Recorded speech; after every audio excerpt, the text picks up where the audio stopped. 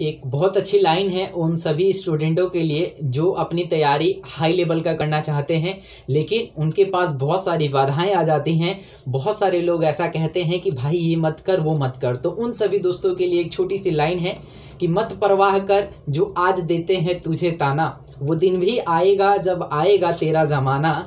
मत परवाह कर, जो आज देते हैं तुझे ताना। वो दिन भी आएगा जब आएगा तेरा ज़माना। लहरें बन जा कश्ती का काम है बहना। कुछ तो लोग कहेंगे, क्योंकि लोगों का काम है सिर्फ़ और सिर्फ़ कहना।